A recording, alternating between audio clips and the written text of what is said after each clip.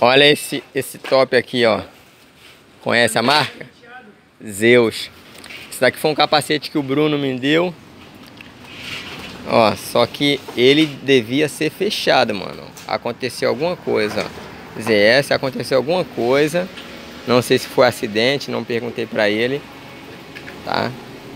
Mas ele tá sem, tá sem a frente aqui, a, a parte do queixo. Ele tá sem a frente.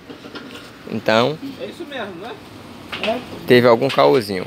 Como eu não, não usei esse capacete aberto, e é um capacete top, ó. Aí o amigo usa aqui, o amigo deixou aqui pra...